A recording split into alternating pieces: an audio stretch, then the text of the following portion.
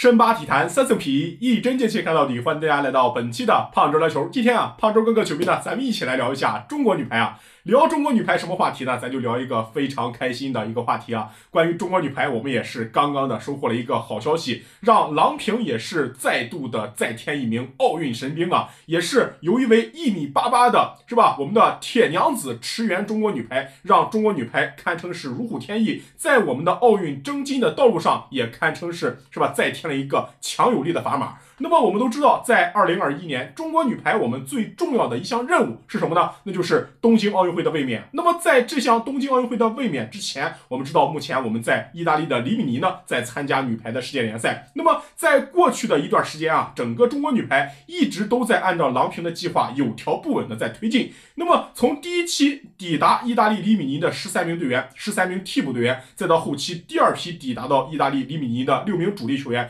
这两个批次一共抵。达意大利十九名队员，那么可以说呢，中国女排也在不断的筛选着、遴选着各个位置上我们的整体的主力阵容框架。那么目前来看，这套主力阵容框架也正在逐渐的陆续的敲定完成，而非常有望在这一次女排世界联赛打完之后，郎平将会正式的对外公布她的一套终极版的十二人名单。那么这套名单其实是广大球迷非常关心的，因为目前我们作为里约奥运会的冠军，来到了这一次东京奥运会上，我们是卫冕冠军，那么各支球队肯定都会重点的去研究我，针对我。所以说呢，中国女排我们想要去卫冕两连冠的话，那肯定我们会成为众矢之的，我们的难度是可想而知的。所以说呢，我们必须在各个位置上挑选出精兵强将。才能够有机会去更接近去拿到这一次的奥运会的冠军。所以说呢，这对于郎平来说，眼下他也是积极的在加速不断的阵容的磨合、调整，尝试各种的阵容搭配。目前来看，其实自从我们第四周开始，我们的六大主力回归之后啊，郎平更多的是以主力阵容为主，每场比赛几乎可以说是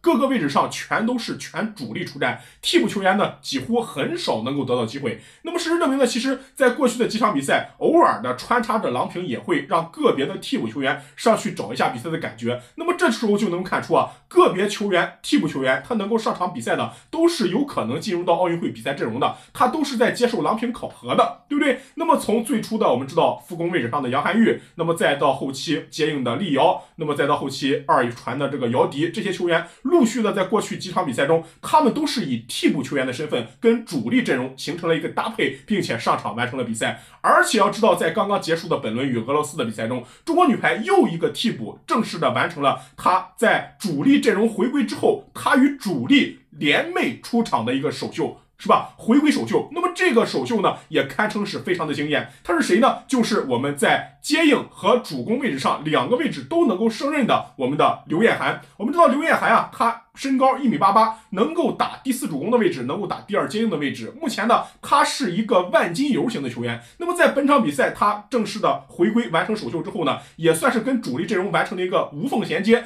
我们看到他上场之后，攻守两端都有着非常稳定的表现。那么跟闫妮一起拦网的时候，他在二号位的拦拦网效率、成功率都是非常高，而且一传的质量改善了很好，而且后排的进攻也是非常的强硬，给郎平带来了一个意外的惊喜，让郎平都没有想到。说实话，昨天晚晚上郎平可能上去也就是让他临时的顶一顶，结果那一顶是吧？一看表现不错，多打了一会儿。过了一会儿呢，龚翔宇把他换下来了，换下来一会儿呢，龚翔宇打了一会儿，一看有点体能下降，郎平呢再度把刘晏涵换上去了。那么这。就是能够对于这个替补的一个极度的信任，是吧？两次换上，两次换下，这就是能够看出他已经正式的能够跟主力球员形成一个合理的轮转呼应了，对吧？这个时候你就是主教练对于你这个替补球员的一个极大的认可，那么也能够看出这个一米八八的铁娘子，是吧？确实是他在球场上的作风非常的顽强，对吧？不愧是咱们老八一女排的一个绝对的核心战将，也曾经帮助咱们中国女排，是吧？拿到了二零一五年和二零一九年两年的女排世界杯的冠军，让郎平很有可能啊。会把第四主攻的这样一个名额留给刘晏涵，因为关键时刻当力瑶她状态不佳的时候，刘晏涵可以给龚翔宇打替补，是吧？那么这样一来呢，也就给郎平带来了一个是吧两个位置的一个双保险。那么这无疑给中国女排我们的东京奥运会的一个争金之路带来了一个全面的加码。那么伴随着刘晏涵这个点的大爆发，可以说是给中国女排带来了一个巨大的惊喜。那么如果说刘晏涵最终能够驰援中国女排的十二人的东京奥运会的大名单的话，我们也希望她能够有着上佳的表现，不辜负郎平对于你的信任，帮助郎平去实现奥运两连冠。我们也拭目以待。好了，那我们本期的胖周的球啊，就先聊到这儿。喜欢胖周的别忘点关注，胖周啊，天天陪你聊段球。